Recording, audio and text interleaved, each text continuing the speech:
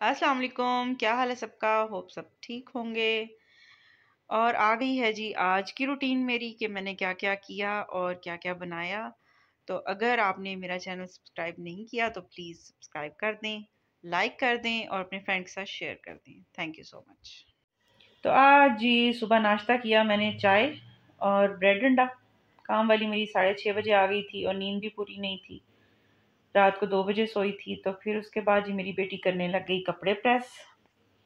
इस तरह के जी हम तीनों के हैं ड्रेस, लेकिन मैं आज भी नहीं पहन सकी, क्योंकि जी मैं डिनर तैयार करने चली गई थी और बच्चों ने पहन लिए खैर जी, इंशाल्लाह सुबह मैं पहनूँगी तो मैं अपनी बच्चियों के साथ ये ब्लॉग में शेयर करूँगी, इंशाल्लाह इंशाल्लाह।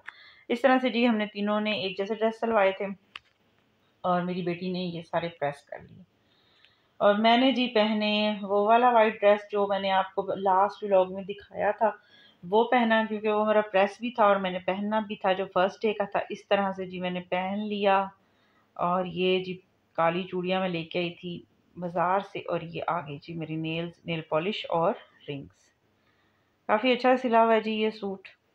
अच्छा लग रहा था। थोड़ा सा डिफरेंट डिज़ाइन था और जी इसकी बहुत शॉर्ट था इनर मैंने जो है वो ब्लैक और गेंजा लेके इसको थोड़ा सा लॉन्ग करवाया इस तरह से जी ये है और शूज़ जी मैंने लीबिया से लेके आई थी, यहाँ से नहीं लिए मैंने। है जी ओवरऑल ये लुक है जी इस ड्रेस का। अच्छा लग रहा था और लेस भी अच्छी लगी थी, ऐसा लग रही थी जैसे आपने हाथ से कुरेशिए का वो किया होता है ना, जैसे कुरेशिए से करते हैं, वैसे सी लग रही थी काफ़ी अच्छी लेस लगी हुई थी। खैर जी, उसके बाद फिर मैंने कुछ वीडियोस बनाई टिकटॉक की और उसके बाद अगेन जी हमें चली गई किचन में डिनर तैयार करने। और डिनर में बना रही हूँ जी, आज मैं मटन पुलाव। मैं चावल बहुत कम बनाती हूँ, लेकिन शुक्र अल्लाह का कि जब भी बनाती हूँ, अच्छे बन जाते हैं, अल्हम्दुलिल्लाह अल्हम्दुलिल्लाह। तो मैंने कहा कि मैं और कुछ नहीं तो आज आपके साथ अपने छोटे से व्लॉग में इसकी रेसिपी शेयर कर देती हूँ। ये हैं जी कुछ मसाले, मैं बाद में बताती हूँ ये क्या है क्या क्या लिया है मैंने। प्याज लिया है खैर जी, बाद में बताती हूँ। फिर जी आ गई ये मटन। और मटन जो आप कह सकते हैं कि वन के जी था, ये अच्छे से इसको मैंने साफ़ किया था। साफ़ करने के बाद जी वॉश किया था।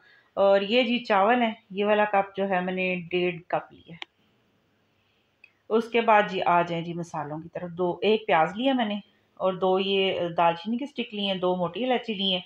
छः जो हैं वो मैंने ये लिए हैं, लौंग, लहसुन पूरा ही ले लिया एक टीस्पून ज़ीरा लिया, एक टेबल स्पून जो है वो सूखा धनिया लिया और आप कह सकते हैं ये पच्चीस तीस काली मिर्चें ली हैं और दो इलायचियाँ ली हैं। इसके बाद जी मैंने सौंफ भी एक चम्मच शामिल की थी, वो यहाँ पर नहीं है, लेकिन मैंने यखनी में डाली थी और एक टीस्पून जो है इसमें सॉल्ट डालूँगी। और पानी आप कह सकते हैं कि जितने में आपका गोश्त गल जाए और आपके पास ढाई कप यखनी का रह जाए, उतना आप पानी डालें। अगर आपके पास कुकर है तो आप कुकर में डालें, मैं यखनी वगैरह कुछ भी जो है वो कुकर में नहीं बनाती, यानी मेरे पास है भी नहीं है और मैं बनाती भी नहीं इस तरह से जी सारा मैंने मसाला, साबत और लहसुन फुल ऐसे ही बगैर छीले डाल दिया, पानी डाला और बॉयल होने तक इसका वेट किया। क्योंकि बॉयल होने से पहले आप इसको कवर ना किया करें, वरना जो है वो स्मेल रह जाती है गोश्त की। और जैसे ही बॉयल आना स्टार्ट हो, जब ये झाग झाग आ जाए ना आपके पास, ये ऊपर सॉरी ठीक है तो ये निकाल के आप इसको फेंक दें। उसकी वजह ये होती है कि फिर आपके पुलाव में गोश्त की स्मेल नहीं आती। ये सारा जो है वो ब्लड ही ऊपर आता है। यखनी होगी जी हमारी रेडी मटन भी गल गया, सब कुछ। फिर जी मैंने इसको स्टेन कर लिया, मुझे जस्ट इसमें जो है वो मटन चाहिए था और यखनी बाकी मैंने जो है वो फेंक दिया। एक मैंने मीडियम साइज़ एक मीडियम साइज़ का प्याज लिया, उसको मैंने इस तरह से रिंग्स में काटा है। बिल्कुल भी डार्क ब्राउन नहीं करना। लाइट सा ब्राउन किया है। यानी कि लाइट सा गोल्डन किया और फिर मैंने लहसुन अदरक डाल दिया। उसको भी एक दो सेकंड के लिए फ्राई किया और फिर मैंने मटन जो है, जो साफ़ साफ़ करके निकाला था, वो डाल दिया और यखनी को सेपरेट रख लिया अब जी मटन को जो है ना, आपने अच्छे से मसालों के साथ साथ साथ मैं मसाले डालती जाऊँगी, आपको दिखाती जाऊँगी, लेकिन मैंने पंद्रह मिनट थोड़ा थोड़ा पानी डाल के भूना। हाफ़ टी स्पून मैंने कुटी हुई मिर्च डाली थी, लाल वाली। हाफ़ टी स्पून हल्दी, एक टी स्पून जो है नमक डाला था, एक टमाटर और गरम मसाला मैंने हाफ़ टी स्पून डाला था। फिर जी मैंने पानी डाल डाल के इसको अच्छे से भूना। टमाटर को बिल्कुल भी, यानी इतना ज़्यादा मैश नहीं करना, लेकिन भूनना अच्छे से। एक टमाटर डाला था। दही है नहीं था, वरना मैं जो है वो हाफ़ कप जो है वो दही डालती हूँ। और जो मैंने आपको कप दिखाया है, ये मुझे अब ढाई कप जो है, यखनी के चाहिए, यखनी डाल दी और फिर बॉयल आने का वेट किया। वेट करने के बाद फिर हम डालेंगे अब चावल इसमें। ढाई कप यखनी में, डेढ़ कप चावल डालेंगे। और ये देखें जी बॉयल जब स्टार्ट हो जाएगा इस टाइम पे एक बार फिर आप इसका नमक चेक कर लें। मेरे से मैं फिर भी इतनी ज़्यादा नहीं डालती क्योंकि मेरी छोटी बेटी ने खाना होता है। और इस टाइम पे आप दम दिया करें। जिस तरह ये लाइट लाइट से बबल रह जाते हैं ना कवर करके मैंने पकाया, आप कह सकते हैं पाँच मिनट। उसके बाद जिस तरह, इस तरह से बॉयल स्टार्ट हों तो आपने जी बस इसको सीधा गीला कपड़ा किया बगैर जो है वो दम दे देना इस टाइम पे हल्का सा हिलाएँ, आपके चावल जो हैं वो सारे मिक्स हो जाएँ।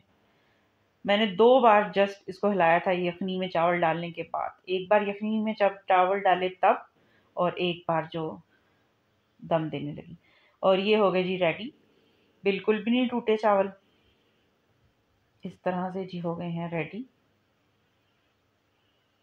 देख सकते हैं आप, अगर आपका प्याज जो है वो डार्क ब्राउन हो जाएगा तो आपके पुलाव का कलर जो है वो चेंज हो जाएगा। यानी कि वो काला काला हो जाएगा तो वो इतना अच्छा नहीं लगेगा। और गरम गरम जी हमने किए सर्व अल्हम्दुलिल्लाह अल्हम्दुलिल्लाह। सबको बहुत अच्छे लगे और मज़े के भी बहुत बने। जो कुर्बानी की इस तरह के गोश्त होता है ना और चीज़ें जो बनाते हैं हम, वो अल्लाह की तरफ़ से बहुत मज़े के बनते हैं। ये आ गया है जी इसका फाइनल लुक टमाटर मुझे अच्छे लगते हैं थोड़ा थोड़ा सा रेड रेड सा कलर आ जाता है। और देख सकते हैं, बिल्कुल भी नहीं टूटे जबकि मैंने इतना ज़्यादा इसको पानी में डिप करके रखा, मेरी यखनी तैयार हुई। और मैंने स्टार्ट में ही इनको जो है वो पानी में डिप करके रख दिया था। जब चावल बने हो तो टाइगर कैसे दूर रह सकता है, ये देखें जी। टाइगर आ गया मेरे पास कि मुझे भी चावल दे दो, ये देखें।